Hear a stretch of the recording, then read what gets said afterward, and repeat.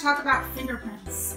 If you are blessed to have one of these stainless steel appliances, they're beautiful. The only problem is, kind of hard to see in the light, they get fingerprints and schmutzed and I can see it all over the place.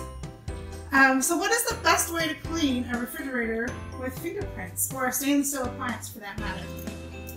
Um, I have a go-to cleaning product that I really love.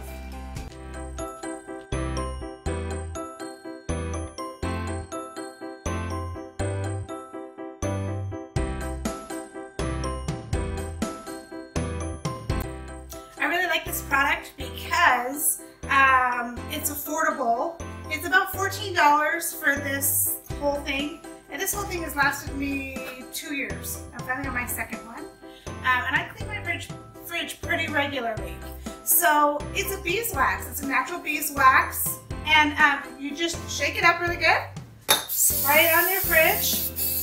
Note to self, do not spray this on your hardwood floors. It will be a whole new risky business adventure. Uh, you'll slip all over the place.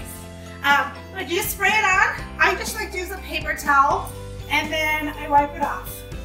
And then um, go ahead and give it a good little scrub. Right here is something a little bit more than a fingerprint. And then um, once you've scrubbed all of this like that, you can touch it again and no fingerprints. It really is great. Hey Mom.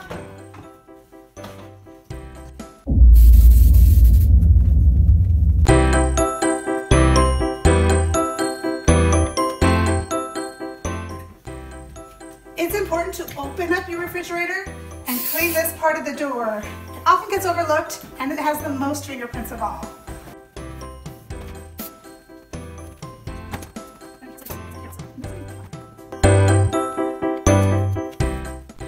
If you have hard water in here, in this lovely state we do have hard water, although I do have a water softener, it's not connected to everything.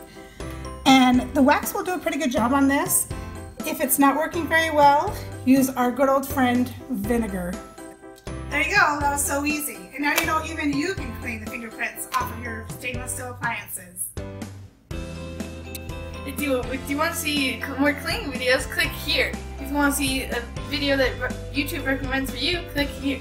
If you want to subscribe, click here. Don't forget to leave a like.